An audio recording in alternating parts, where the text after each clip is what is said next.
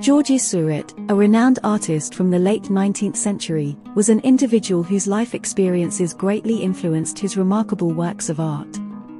Born in Paris in 1859, Seurat grew up in a time of great cultural and social change. As a young artist, he immersed himself in the vibrant artistic scene of the city, drawing inspiration from the bustling streets and the diverse people he encountered. Seurat's experiences of living in a rapidly industrializing city can be seen in his early works, such as The Seine with clothing on the bank and a quarry. These paintings capture the changing landscape of Paris, depicting the urban surroundings and the impact of industrialization on nature. However, it was Seurat's most famous work, A Sunday on La Grande Jatte, that truly showcased his unique artistic style. Through this monumental painting, he explored the concepts of color theory and pointillism. By using tiny, precise dots of color, Seurat created a sense of vibrancy and movement, urging viewers to step closer and engage with his art.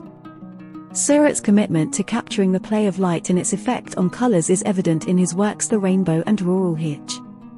These paintings beautifully depict the interplay between light and shadow, creating a sense of atmosphere and depth. His dedication to research and meticulousness is evident in the multiple studies he created for a Sunday on La Grande Jatte.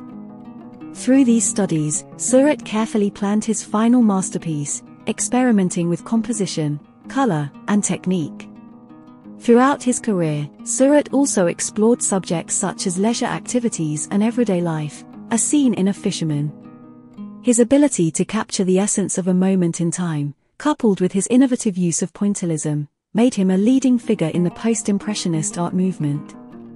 In summary, Georges Seurat's life experiences, along with his commitment to exploring new artistic techniques, greatly influenced his works of art. Through his use of pointillism and his ability to capture light and color, he created a unique visual experience for viewers. Seurat's legacy continues to inspire and captivate art enthusiasts to this day.